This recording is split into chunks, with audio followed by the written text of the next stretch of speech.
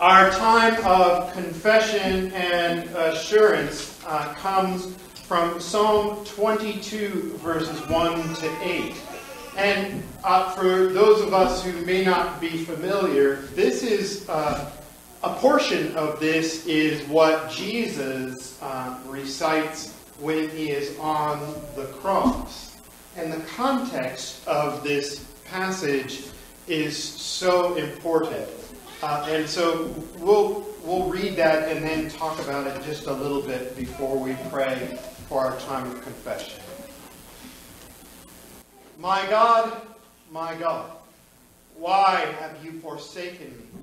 Why are you so far from saving me, so far from the words of my groaning?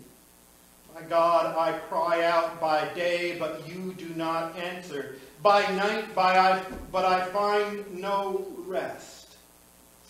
Yet you are enthroned as the Holy One.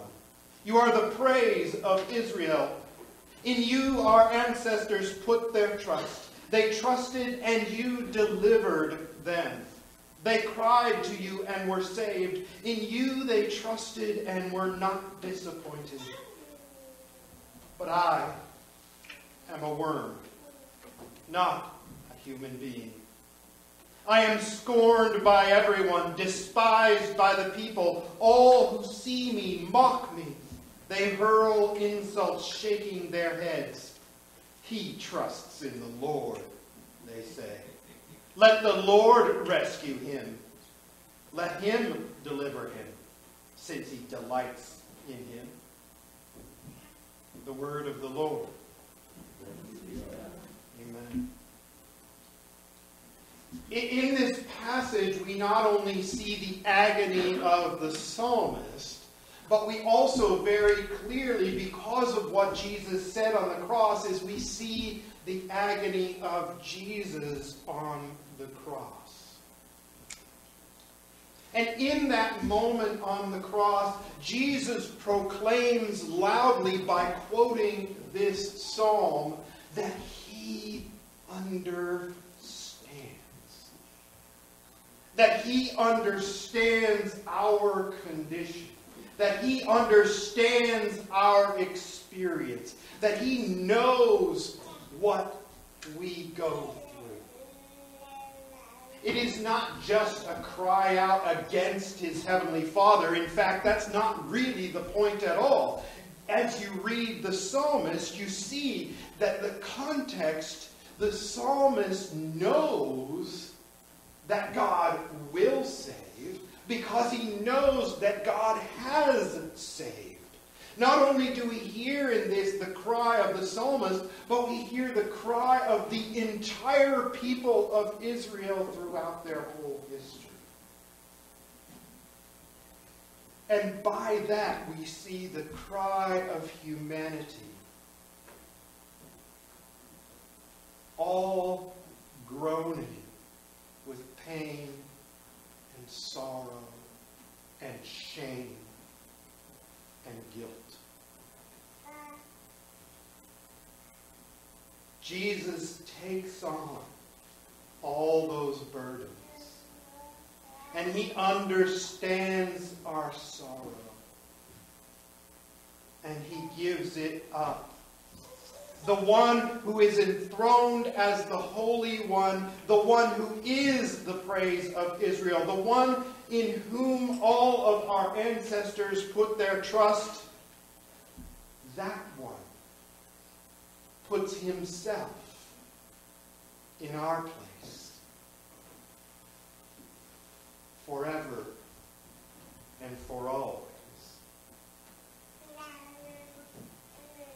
This morning, as we come to a time of confession, let us confess that yes, we have felt that grief. Yes, we have felt that sorrow. Yes, we have felt that shame. And yes, we need a Savior. But let us also remember the great comfort and assurance that we are not alone, but our Savior became one of us and understands. Let us pray. Our Father in heaven, thank you so much for your Son, Jesus Christ.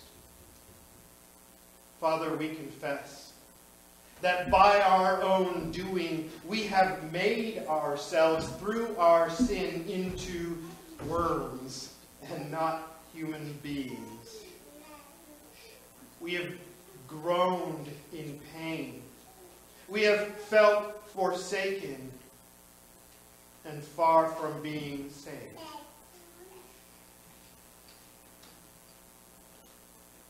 But, oh God, at the same time, we know that you are our deliverer, that you are our Savior, that you are the praise of Israel and enthroned as the Holy One, Jesus. So, Father, please forgive our doubt. Forgive our sin. Forgive us for fearing things other than you, O God.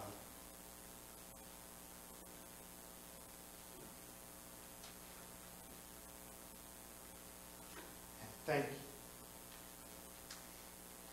Thank you so much that we can indeed put our trust in you.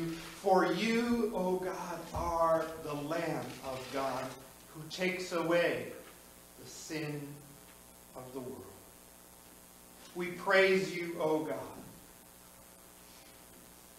for you have delivered our ancestors, and you will deliver us again.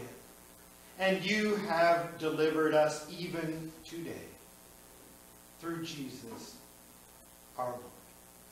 We pray this in the name of the Father, and the Son, and the Holy Spirit, Great three in one. Amen. Amen.